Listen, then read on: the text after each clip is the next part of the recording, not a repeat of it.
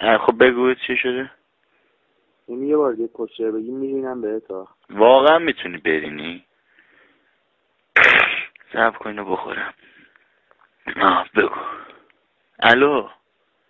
ببین جدی دارم بهت میگم. ببین احمق من هفت مرتبه به تو گفتم با صدای بلند که نمی‌تونم ببینم. های الله ظهور کن که این احمقه گردنه بزنم دهنش سیرفیس ها؟ خوب گفتم؟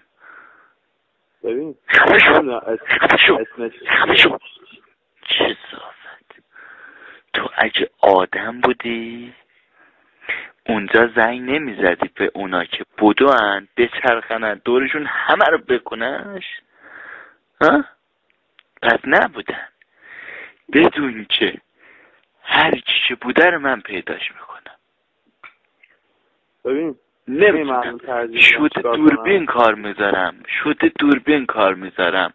شده دوربین کار می‌ذارم. نشدم که هیچ. من ترجیح میدم الان بخوام تا اینکه با تو من ترجیح میدم. من ترجیح میدم پدر یه سگ مرده باشم تا پدر تو.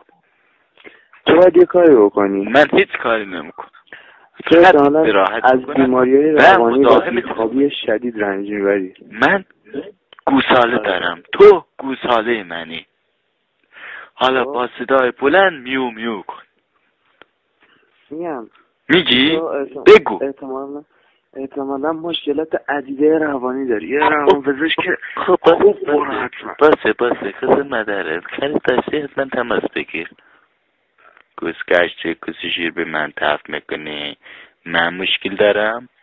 و که عمل کردی در باشی؟ بدرت ها؟ با قرآن بگم و بدرت احمقه با قرآن کم عمل کردی من که گوش نمی‌کنم به حرف. با قرآن گوش نکنی با قرآن گوش نکردی. با قرآن بگم نگم ریدم دهنت.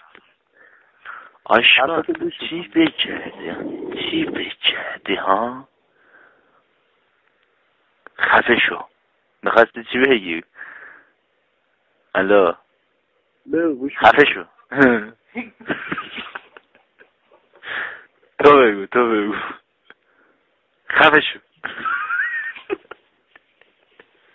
بگو ناصر ناصر شوخی دارم باد می‌کنم ها می‌دونم. می‌دونی؟ خفه شو. آره آره بذار می‌کنم.